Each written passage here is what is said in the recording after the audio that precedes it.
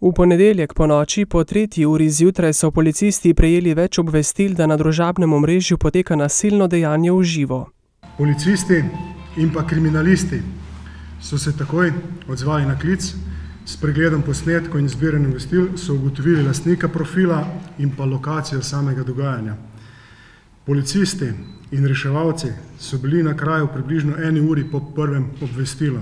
V neposredni bližini, kjer je ležal poškodovani, so policisti sledili še dva moška. Poškodovanega so takoj po nujni pomoči odpeljali v novomeško bolnišnico, od tam pa še isti dan v Ljubljanski UKC.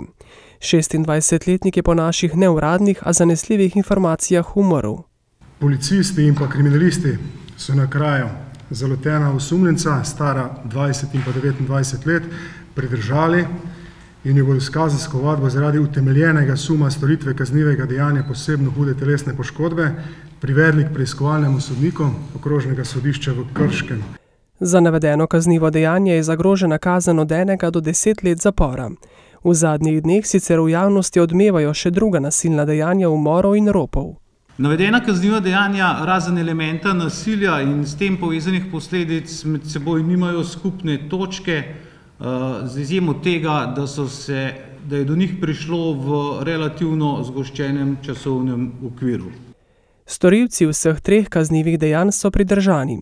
V zadnjem času se pojavlja še en precej zaskrbljujoč trend. Ob tem je pomembno, da policija zaznava, da se vse več kriminalitete različnih oblik širi v spletno okolje, med drugim tudi posredovanje posnetkov različnih nasilnih kaznivih dejanj.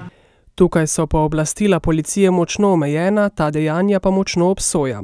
V dotičnem primeru brutalnega pretepa mladega moškega je policija ponudniku družabnega omrežja poslala zahtevo po umiku posnetka, kar se je tudi zgodilo. Razkritju dejanja, nudenju pomoči oškodovancev in prijetju storilcev bo tovalo predvsem prisebno in odgovorno ravnanje uporabnikov socialnih omrežij, ki so sporno vsebino takoj prijavili.